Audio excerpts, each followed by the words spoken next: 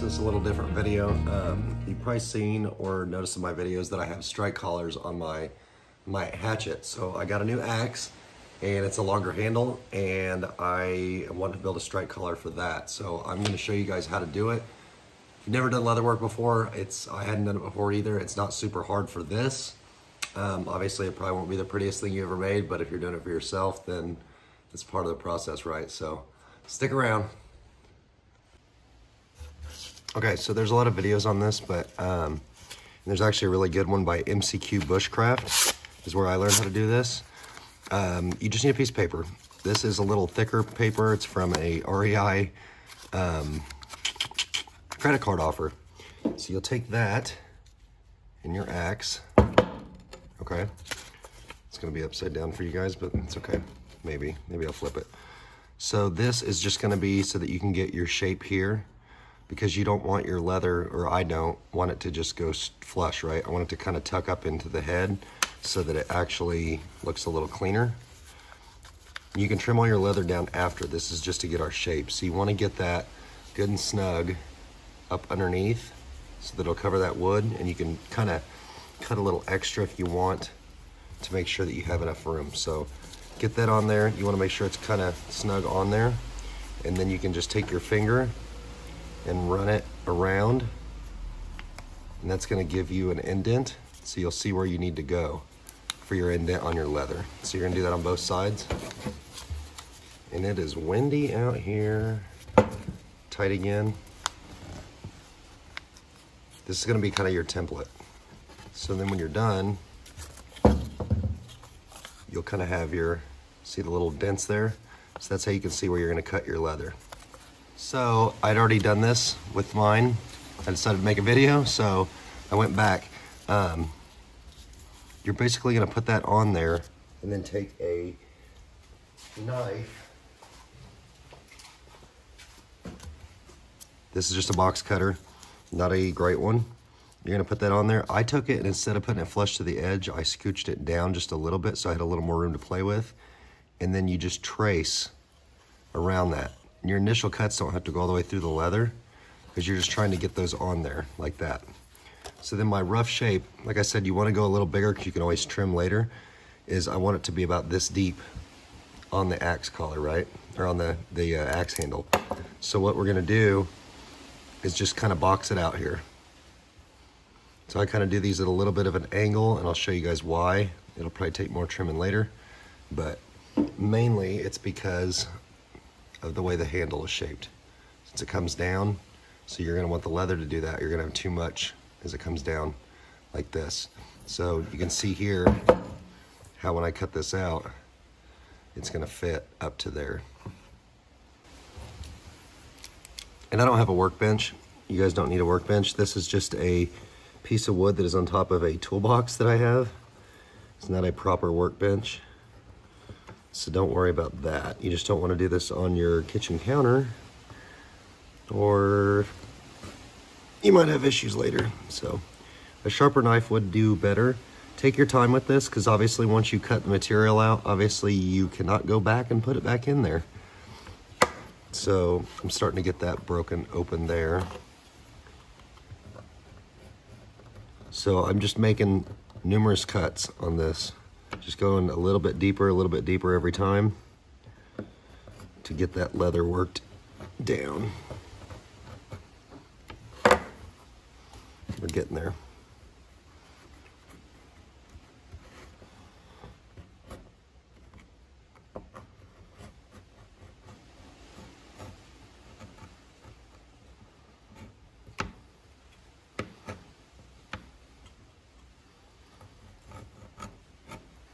You don't have to have leather that's like nice leather either. You can uh, get an old leather jacket and try it. If you find one like maybe a Goodwill store for next to nothing. Or you could do um, an old pair of boots. Go to a surplus store and see if they have an old pair of military boots that you can use. Because the boot leather is usually pretty strong too. That's something else that was mentioned in uh, MCQ Bushcraft's video was that he usually uses boot leather. So something to think about if you do not have access to a big piece of leather. So, all right, you guys don't need to watch me fight this. I'm gonna cut this out and then we'll get to the next step. We're back. So it's cut out. Obviously it is rough around the edges, right? It doesn't have a great look to it. It's okay though. What we can do later, I'm gonna do it with a sharper knife, is actually go through and shave out the insides of these to clean it up. Clean up any little, little pieces. And then the shape's not perfect either, so we can clean that up as well. Get some of these rougher, rougher edges sliced off here. It'll focus. Um, something else you can do too is take a knife, and it helps. I did it on my other one, and I'm gonna use a sharper knife when I do it because this one sucks. Um, but you actually trim off that inside edge. So at kind of an angle here, and it'll help this sit more flush to the axe and on the handle. So what we're gonna do now is you just wanna soak this, just take it and stick it in a cup of warm water for, I don't know, five ten minutes. What that's gonna do is make this a lot more pliable so that you can use it. And then whenever you put it on there and tie it on, as it dries, it'll tighten the leather. So we're gonna go ahead and do that. Got our leather soaking in a shaker cup. So it's gonna be a little moist. I'll show you what soaking it does. So see now that it's soaked, that leather's a lot more pliable. So then you can start forming it. So like I said, you wanna take a knife, a sharp knife. This is just a little pocket knife and start shaving down the inside edges here. Take your time with this. Um, obviously, there's no rush because if you screw it up, you've already come this far. You don't want to have to start over. So I just shave off that inside edge. Clean your blade every now and then because wet leather is going to stick. But it starts to take that edge off of there. It's not much. It's just gonna help with that to sit flush. You don't wanna make the cut deeper on the whole arc of it. You're just trying to get the inside edge there. You probably don't have to do this, but it, I think it makes it look cleaner when you're done. I also noticed on mine, when I went to test fit it, that, hang on, trying to rub my belly and pat my head at the same time here. Um, when I went to test fit it, that I had too much material, which is what I said earlier, like you want to have too much than too little because you can always take leather off, but you can't put it back on. I would suggest doing this outside or you're gonna make a mess. I've done stuff like this on my coffee table and you just gotta clean it up. So once you get that going, get the edges cleaned up. I don't usually trim the bottom down on that inside lip, um, just because I'm, I'm not super worried about how that sits on there. I just want to clean up all the edges.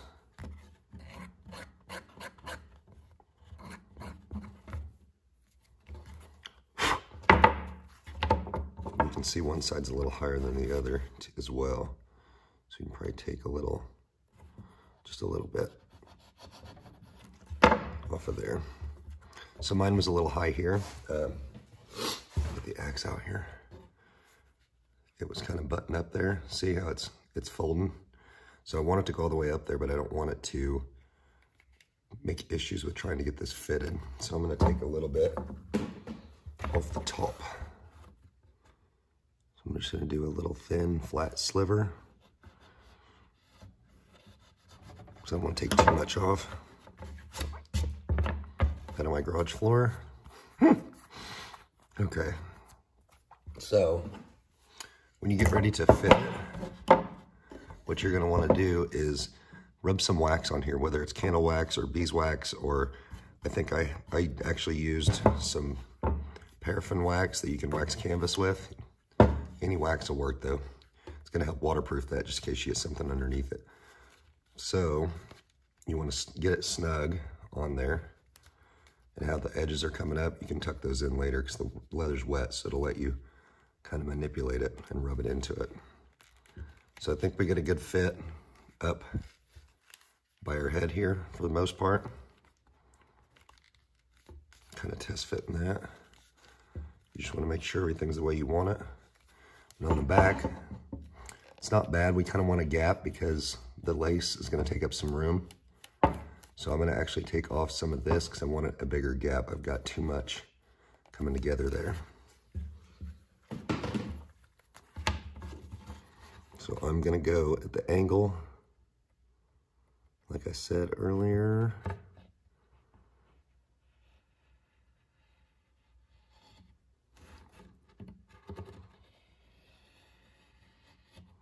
And I'm sure that this is uh, dulling this knife a little bit, but that's why it's good to know how to sharpen them. And remember, it's not, you don't have to cut super deep or hard. You just want to get just a little bit off the edge. That actually made a straighter cut than the last time.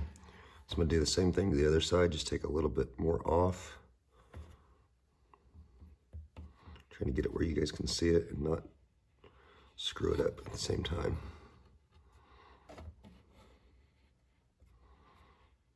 Yeah, I got off track there.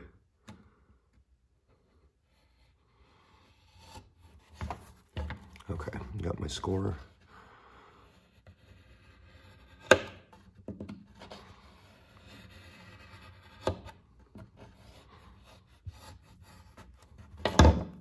Nope, not quite.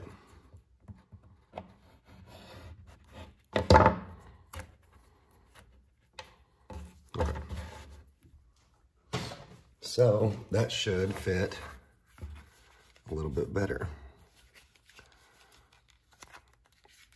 You can always re-soak this leather too if it starts to dry out and it's getting a little tough to work with. This seems like it could probably stand to be soaked a little more. You can take little bits off. I might take a little off of here so it'll fit more flush. So once it's lined up, See, we got that gap, but when we put the leather lace in there, it'll fill it. If you don't have a gap, and the leather comes together, it'll be hard to get it tight, and that's gonna wanna move around. The wax underneath here that I talked about will help. That's the idea. So once you get the shape that you want, for the most part, you can always take it off and trim later. I have a leather hole punch here. If you don't have one of these, I didn't the first time I made this. I've got it afterwards to make other stuff. Um, I actually used in my toolbox like an awl, like either an awl or it's an awl, but um, just to poke the holes in it. And then I would kind of ream those out a little bit to fit my lacing. Okay. So this is leather cordage. This You can buy this at Hobby Lobby and buy a bag for like six bucks for like three pounds of it. You can use 550 cord as well. Um, I like the leather because it has that more kind of traditional look to it once it's all said and done. But get that out of the way here. You can soak that in water as well to help make that more pliable. Get the axe out of the way. So I can show you guys. So what I'm gonna do is I wanna punch my holes down the sides to stitch this. So I don't want a huge hole. I want it just enough because I just wanna be able to get that lace through there. I don't want it to stretch out later and look like crap. So what we're gonna do here is use, if I can turn this thing. Now that may make it a little harder to get stuff through there, but it'll keep it from looking like crap later. So these aren't too far from the edge here.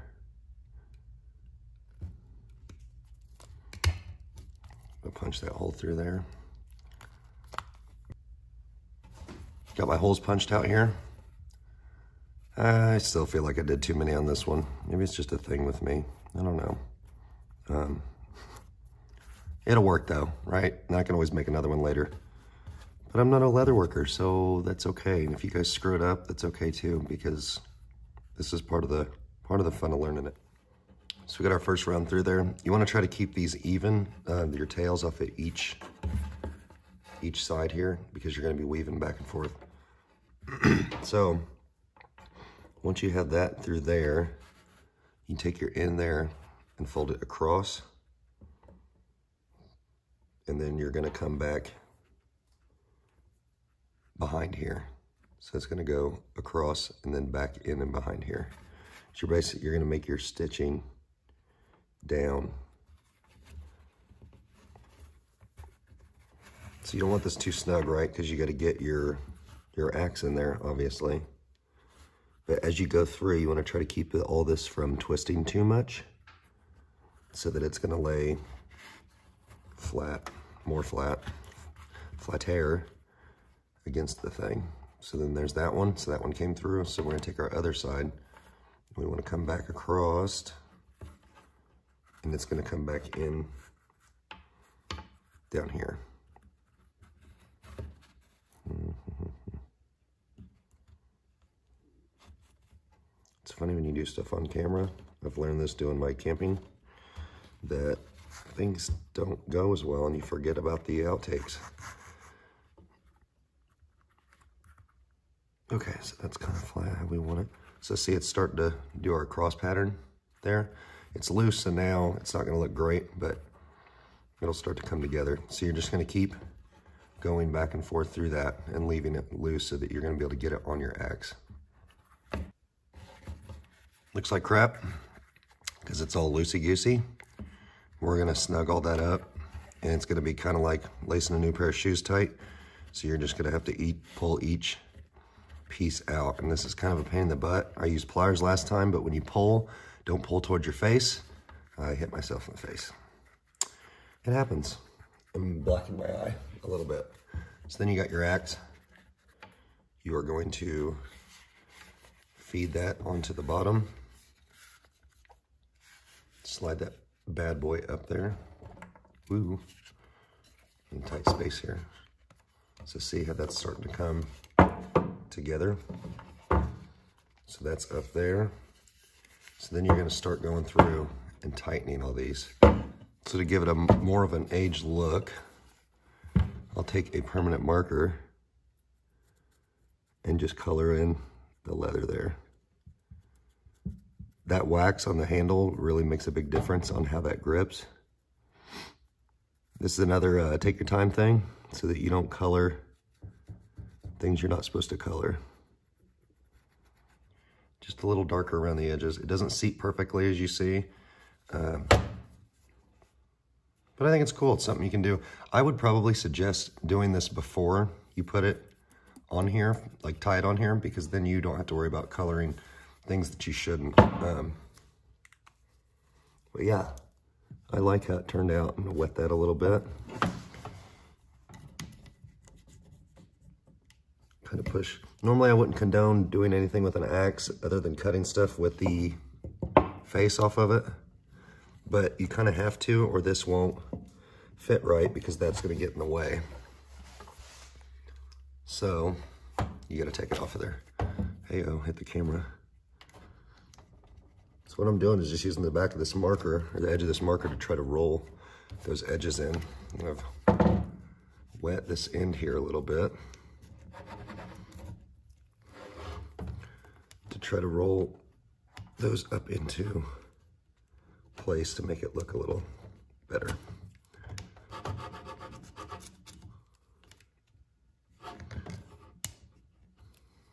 So, for the back, once we're done, can always retie this. I might, it's starting to bother me now. Mm-hmm, OCD, much. So we're gonna take, where's my knife? the sharp knife we use to carve everything off initially. I don't want to tie these, tie these, because I want them to be able to come apart if I need to redo this. So I'm just going to kind of turn the blade in a little bit and just go down just enough. I don't want to cut into my handle where I can take those off of there. That out of the way. Close my knife. Bam. There you go. So then we got our overstrike collar. They actually look better with a little age on them. So that's it, guys. Not a crazy hard project. It doesn't look perfect, but I think it looks good. I like it. Um, and it's something you did at home. So if you have kids or something too, you could teach them maybe better than the Xbox. Yeah, it'll work. You can always clean it up later. If you want to take it off, you can take it off because you know how it went on there. So that doesn't look great, but I'm telling you, it'll wear in.